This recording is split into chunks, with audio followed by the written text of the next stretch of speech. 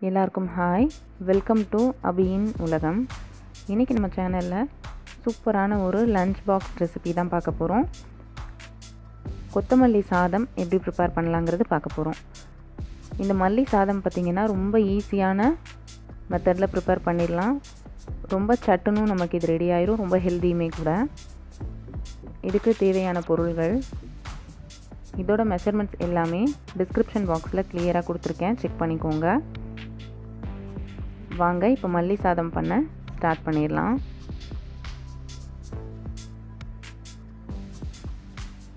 இன்றைக்கி நான் ஒரு ரெண்டு கைப்பிடி அளவு இருக்கக்கூடிய கொத்தமல்லி இலை சுத்தம் பண்ணி எடுத்து வச்சுருக்கேன். இதில் மண் இருக்கும் அதனால் நம்ம ரெண்டு மூணு டைம் அலசிக்கணும் நல்லா. கொத்தமல்லி இலையோட இந்த மாதிரி தண்டும் ஒன்று ரெண்டு தண்டு சேர்த்து எடுத்துக்கலாம். இது நம்ம பேஸ்ட் பண்ணி தான் சேர்த்துக்க போகிறோம் அதனால் இந்த தண்டு எந்த விதத்துலேயும் நமக்கு டிஸ்டர்பன்ஸாக இருக்காது.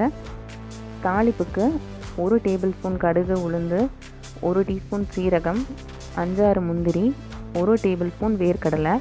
இந்த வேர்க்கடலை ஆப்ஷனல் தான். உங்களுக்கு டேஸ்ட் பிடிக்கும்னா எடுத்துக்கலாம்.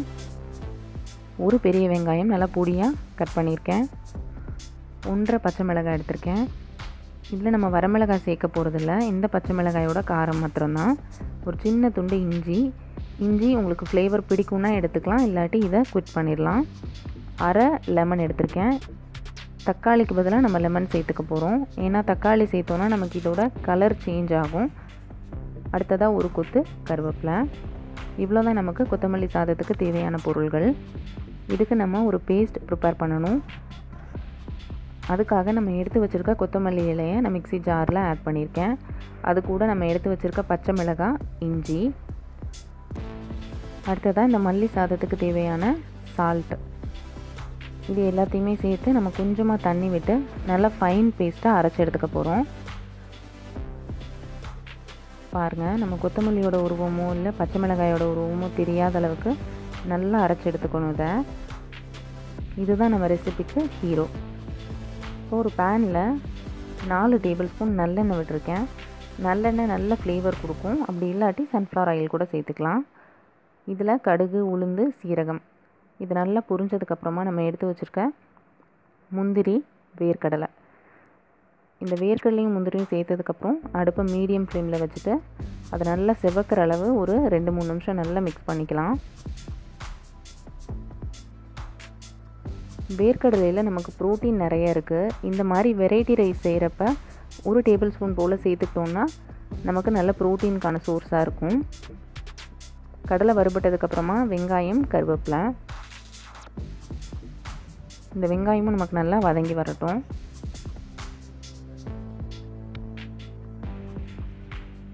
வெங்காயம் வதங்கினதுக்கப்புறமா நம்ம அரைச்சி வச்சுருக்க கொத்தமல்லியோட பேஸ்ட் ஆட் பண்ணிக்க போகிறோம் இந்த ரெசிபி நமக்கு நல்லா க்ரீன் கலரில் பார்க்கவே நல்லா எம்மியாக டேஸ்டியாக இருக்கும். மெயினாக நமக்கு கொத்தமல்லியில் vitamin A vitamin K vitamin C இருக்குது அது போக கால்சியம் அயன் ரெண்டுமே இருக்குது இந்த அயன் வந்து இரும்பு சத்து கம்மியாக இருக்கிறவங்களுக்கு ரொம்ப தேவையான ஒரு ஒரு விஷயம்னு சொல்லலாம். கொத்தமல்லி நம்ம அடிக்கடி ஃபுட்டில் எடுத்துகிட்டு வர்றதால நமக்கு ஹீமோக்ளோபின் குறையிறதையும் நம்மளால் அவாய்ட் பண்ண முடியும். கொத்தமல்லி நம்மளோட ஸ்கின்னுக்கு ஹார்ட்டுக்கு பிரெயினுக்கு இந்த மாதிரி எல்லா பார்ட்ஸ்க்குமே நல்லது செய்யக்கூடிய ஒரு விஷயம். இதில் விட்டமின் ஏ இருக்கிறதால நம்மளோட கண் பார்வைக்கு இது ரொம்ப ஹெல்ப் பண்ணும்.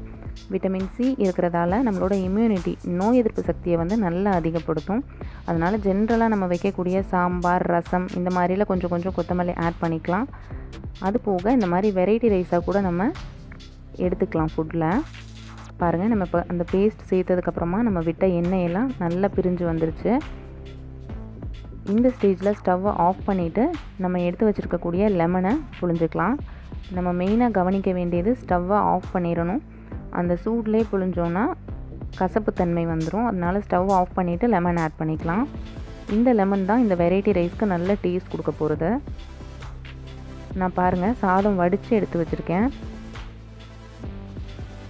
இந்த சாதத்தை நம்ம இந்த கொத்தமல்லி மிக்ஸோடு ஆட் பண்ணி ஒன்று சேர்த்து கிளறி எடுத்துக்க போகிறோம்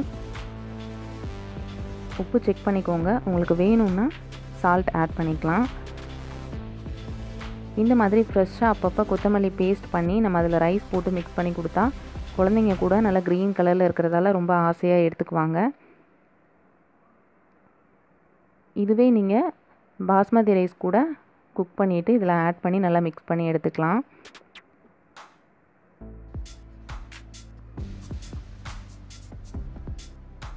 உங்களுக்கு எந்த அளவு க்ரீன் கலரில் வேணுமோ காரம் அதெல்லாம் பார்த்துட்டு ரைஸோட குவான்டிட்டியை கூட்டியோ இல்லை குறைச்சோ சேர்த்துக்கலாம். பட் பேசிக் மெத்தட் இது தான் இந்த டைப்பில் ட்ரை பண்ணோன்னா ரொம்ப டேஸ்ட்டும் சூப்பராக இருக்கும். கொத்தமல்லியும் நம்ம ஃபுட்டில் எடுத்துக்கிட்ட மாதிரி இருக்கும். நம்ம சேனலில் கொத்தமல்லி வச்சு செய்யக்கூடிய கொத்தமல்லி சட்னி ப்ளஸ் ஒரு வாரம் வரை கெட்டு போகாமல் இருக்கக்கூடிய கொத்தமல்லி துவையல். இது ரெண்டு ரெசிபி போட்டிருக்கேன். அதோட லிங்க் டிஸ்கிரிப்ஷன் பாக்ஸில் கொடுக்குறேன். செக் பண்ணிக்கோங்க. இந்த மாதிரி ஏதோ ஒரு விதத்தில் நம்ம கொத்தமல்லி அடிக்கடி ஃபுட்டில் எடுத்துக்கிட்டே இருக்கணும். பாருங்கள் சூப்பராக நமக்கு மல்லி சாதம் ரெடி ஆயிடுச்சு. இந்த சாதம் கண்டிப்பாக லஞ்ச் பாக்ஸ்க்கு ஒரு சூப்பரான ரெசிபியாக இருக்கும். இந்த கொத்தமல்லி சாதத்து கூட நம்ம உருளைக்கிழங்கு வறுவல் வத்தல் இந்த மாதிரி சிம்பிளான சைடிஷ் எது வச்சு சாப்பிட்டாலும் நல்லாயிருக்கும்.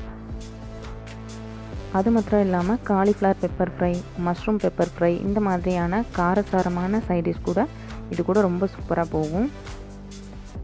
இந்த மாதிரி சைடிஷ் வச்சு சாப்பிட்றப்ப நம்ம சாப்பிட்டுக்கிட்டே இருக்கலாம். அவ்வளோ டேஸ்டியாக இருக்கும். கண்டிப்பாக நீங்களும் இந்த மல்லி சாதத்தை உங்கள் வீட்டில் ட்ரை பண்ணி பாருங்கள் ட்ரை பண்ணி பார்த்துட்டு உங்களோட ஃபீட்பேக்ஸை என்னோடய கமெண்ட் செக்ஷனில் ஷேர் பண்ணுங்கள் என்னோடய வீடியோஸ் பிடிச்சிருக்குன்னு நினைக்கிறேன். அப்படி பிடிச்சிருந்தா நம்ம சேனல் அபியின் உலகம்க்கு மறக்காமல் சப்ஸ்கிரைப் பண்ணிவிட்டு உங்கள் ஃப்ரெண்ட்ஸ் அண்ட் ஃபேமிலிக்கு ஷேர் பண்ணிடுங்க தேங்க்யூ ஃபார் வாட்சிங்